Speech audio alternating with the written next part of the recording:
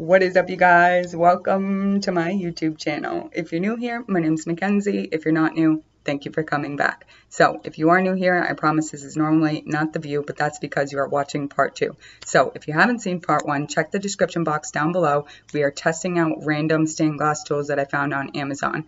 So, in part one, I go over the background, the basic gist of all of those tools, and I started breaking down two of them, two of them which I absolutely love. So, don't miss it go check out part one. Then when you're all caught up, come back to part two. So for everybody else that already is caught up, today's video we are going to be finishing up testing out all the rest of those tools and at the end I will give you my overall final thoughts on everything. So I think that's it guys. Don't forget to subscribe. Enjoy. Alright guys, so first couple things that I'm testing out here is the Mr. Splash and the grinder cookie. So right away you can see that the Mr. Splash is not that much taller than my grinder. So I think this is going to be one of those things that's really dependent on what you guys are looking for it to do.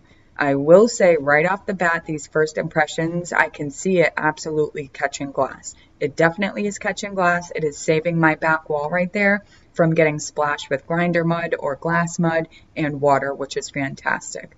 So for this grinder cookie, the grinder cookie I was struggling with.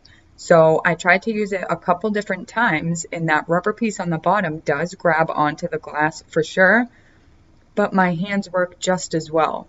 So I'm not sure what exactly the benefit is from it. I can see myself maybe using it when I'm using these teeny tiny pieces of glass, which I'm trying to do right here, but still it seems like my hands are working better. So I don't know if this is really a necessary tool at all. If you're somebody that's looking to not slice your fingers up, sure. Otherwise, skip it. Mr. Splash, right now, it's definitely doing its job. It's saving my desk and saving that back wall from a, a lot of grinder mud and water. All right guys, so we've only got a couple pieces left to test out for foiling and then the very last one we're going to be testing out that fume extractor which I'm really excited to see how much fume it actually kind of pulls away from the soldering table. So last couple things, we've got the copper foil dispenser and we've got the quick crimp. So I've already got some more pieces of glass cut out here, a couple that I saved from before. So we can basically just test how easy it is to pull the foil out from something like this. Oh, it's blue. It's a hideous blue. I'm absolutely going to have to spray paint this black. It's just, it's curious to me. So the chances of black working for everybody's aesthetic over blue working for everybody's aesthetic. Am I the only one who thinks about stuff like that? This is hideous, but I can quickly spray paint it totally fine. So it's got a little bit of a wider gap on the edge here. I don't think there's any foil that's even close to that thick. So you could stick your burnishing tool, a pair of scissors right in the side like that, which is great. So I don't have, well, I do, but I don't want to open up all of my bags of different sized foils or pull out my waved foil and subject them to being out in the open.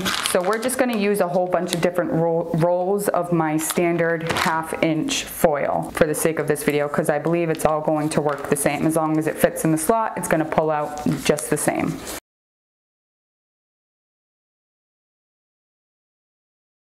All right, so we're gonna test out both this and the quick crimp. So let me, again, zoom you guys in a little bit closer so we can get to foiling. All right, so I imagine for the most part, there's not too much that can go wrong with something like this.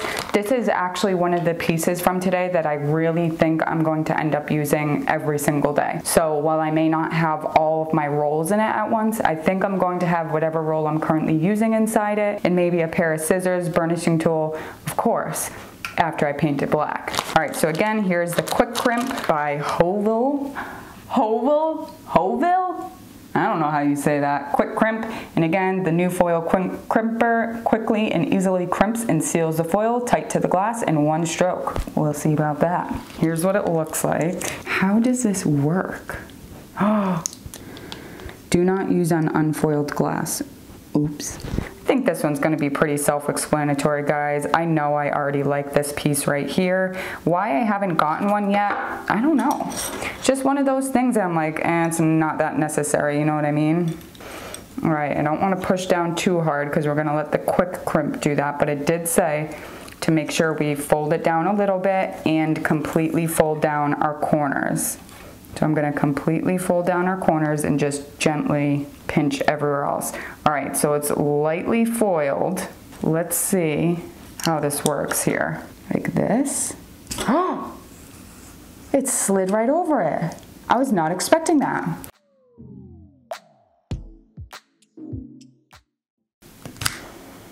And this is, oh, it caught the, it caught the foil there for some reason. Can you see that? It just caught and ripped up the foil right there for some reason. That might have been my fault. This might have been too small of an edge. I just started using this thing. That could be me, but also could just be the plastic. I mean, I don't know how to feel about this, guys. What do you think about the quick crimp? Is this worth it or this is this just kind of nonsense at this point? Eh, eh, I guess if I had to if I had to choose between the two, I would pick this one. Because this is much more limited than this is. Yeah, look at that. It's ripping the foil right there, guys. Let's try one more moon and we'll be done with that piece. I don't think there's much more to it.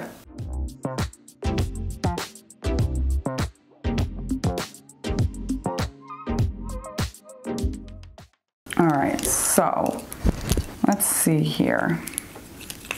Guess you'd have to start on this top edge.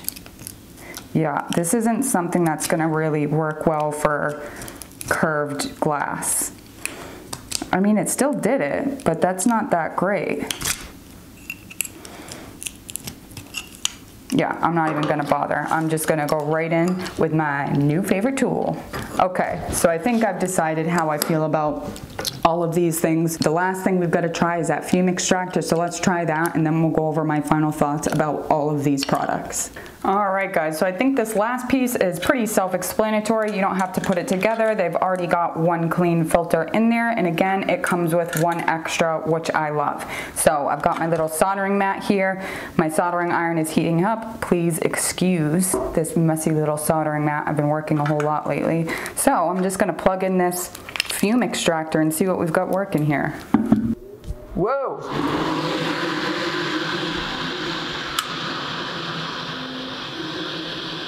Okay, so the fan faces out. Actually, I guess we can test this with my vape. Wow, that works great. Did you see that? It sucked it all right in. Okay, cool. So let's really test this. I think you could have any this anywhere near your workstation and it's gonna work. This is a really strong fan.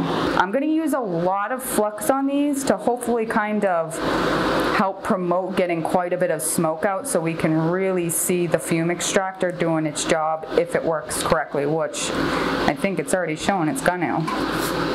I can see it pulling it right into the fan. Wow.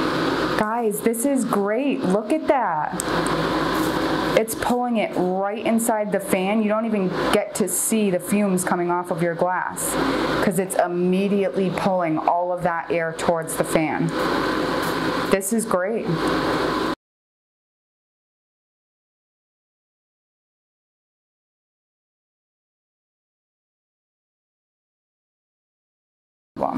This is great. So excited. I love this. Another one of those things I'm absolutely going to use every single day. Cool. All right, I'm done messing around here. I think I've got the idea. All right, guys, that is everything. We have officially tested all of these tools out, and I've got to say right off the bat, I am shocked. I am so pleasantly surprised on how much I actually loved a lot of these tools. I'll admit, when I went into this, I was fully under the impression that a lot of these were going to be gimmicks or just kind of silly, not really necessary, which a couple of them were. But overall, I was really, really impressed, and a couple of these are going to be absolutely in my everyday working stained glass routine. So let's go over everything. So the ones I didn't like, let's go over first. This grinder cookie. So not only is it incredibly difficult to get that stupid little rubber thing on the bottom, again, why doesn't that just come already on? I don't know. But it's not something that's necessary. Again, if you're prone, if you're somebody that's prone to slicing your fingers or for some reason you really need help getting up close to the grinder, then sure. But this thing works just as great as my fingertips do. So I'm still really struggling to understand the true asset of having something like this in your collection, again, it's okay. It's not like it doesn't work, it works. And that little rubber piece makes it grip onto the glass fantastic. So Again, this is gonna be up to you guys. If this is something you think you'll use, then absolutely I approve it. It's made well, the rubber grips the glass fantastic, but this works just as great as my hands do. You know what I mean? So this one's an okay, kind of a flop. This. So what was this? The quick crimp. The quick crimp is not my favorite. It's essentially just a burnishing tool and the more I used it, the more I found that it actually is kind of prone to ripping the corners of the glass. Again, it could be something I'm doing wrong and I just started using it, but it's such a hard plastic and it's so tight up here. When you go to shove your glass through that, it's kind of inevitable that it does damage. But beyond that, it's just not really something that's necessary there wasn't a comfortable way for me to go in concave or convex curves on glass. It's more for those straight edges, which at that point, this is a one trick pony and I'm not okay with that. I would rather a versatile tool like this. So I would say skip the quick crimp and get something like this if you're looking for a more unique burnishing tool. So I didn't really test out too much of as far as its foiling capabilities and using these edges up here because that's not something that I think again is necessary. You're using your hands to do it. At that point, you might as well get something like a stained glass foiler. However, for a burnishing tool, I think this is fantastic. This wheel is going to take so much pressure not only off of your wrist, but off of your hand as you're burnishing a lot of glass. If I have I don't know, say an eight hour day of just foiling and burnishing glass, my hands and my wrists get a lot of pressure on them very quickly. So having a tool like that I think is going to be a great asset to have inside the toolbox. I'm absolutely gonna have this in my top drawer and I know I'm gonna be reaching for it often. Mr. Splash. So this is kind of, I'm, I'm right on the fence. So I'm impressed with how much glass it caught, but it didn't catch it all. I will say that.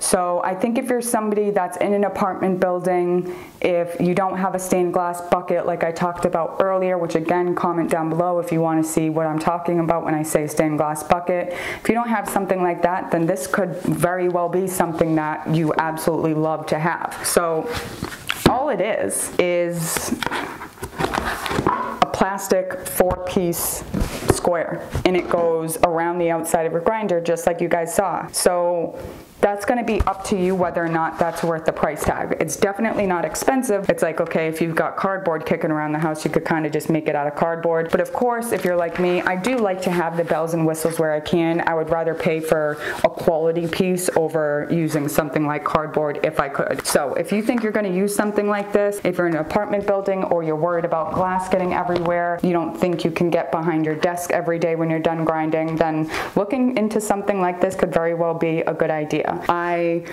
I think it's worth the money. I think it's made well. But again, it's just whether or not it does that much because at the end of the day, if I'm still having to vacuum and sweep and mini vac my entire area, is this really doing its job? You know what I mean? So I'm on the fence. Next up, this little foiling holder. What was this called? The copper foil dispenser. Again, I absolutely hate that it is blue. Aesthetically, it is ugly. But with a quick coat of black paint, I think that problem is absolutely solved. This is 100% going right on my desk back here. I don't think I'm going to keep my foil down in my drawer anymore, or if I do, I'm gonna put all my foil in here, and when I'm done using it, pick it up and put it right inside my drawer so it's not sitting in the sun. I love this. I'm definitely going to be using this every day from here on out. Okay, so this thing, the stained glass foiler from, from Glastar. I actually really like it. So again, it's tricky and it's going to be a learning curve. I'm sure it's going to continue to be a learning curve, but I'm really impressed with this. So again, on those days that I'm foiling for eight, nine, ten hours at a time, I think having something like this in my arsenal is going to be a game changer, not only for the sake of speed, if this is a tool that actually helps me get quicker at foiling, but just ease on my hands and my fingertips and all of that stuff. I think this is great. I think it's worth the $50 because of what it does. I do not like that it is just a hunk of plastic. I don't like that the whole thing is made of plastic. I don't like that these are nylon nuts. I don't know how long this is gonna last, but what it does alone, I think it's worth the $45. I'm going to have to continue to play around with this, but as of right now, I'm pleasantly surprised. I really like this thing. If you have the money and you wanna play around with it, I say absolutely give it a go. I'm gonna keep trying to use this where I can and see how fast I can get at foiling. All right, so our fume extractor. Probably the thing I was most surprised by. This thing was so cheap for what it is and it worked fantastic. So you could really see it with my vape more so than anything else, but that goes to show you because you can't always see all of those fumes that is coming off of our work. So I think this is amazing. So if you are one of those people that's concerned about whether being in a well ventilated area or not right next to a window, pick something up like this. I absolutely love it. Again, all of this stuff is gonna be linked down below. This little fan is powerful. It absolutely did the job. I really like it. Beyond it being just something that pulls the fumes away from your work, it has that built-in filter and it comes with the one on it and it comes with an extra, which is fantastic. So not only is it pulling the fumes away from you, it's also giving them a little bit of a filter, which is great. Doing our job, soldering so much, working with as much fumes as we realistically do, having something like this for 25 bucks or whatever it costs is absolutely worth it. I love this thing. Alrighty guys, with all of that being said, I think that's it for today's video. Before you go, don't forget to subscribe and like this video if you did. Comment down below, let me know, what did you guys think of all of these tools in today's video? Did you think a couple of them were just as weird as I did? I don't know, let me know. So of course I'm going to link all of this stuff down below. They are Amazon links, they are not affiliate links, I just put them there because it's easy for you guys. So everything will be linked down below. If you want to check out my stained glass work and my stained glass business, that will be linked down below too. And if not, I will see you next time. Bye.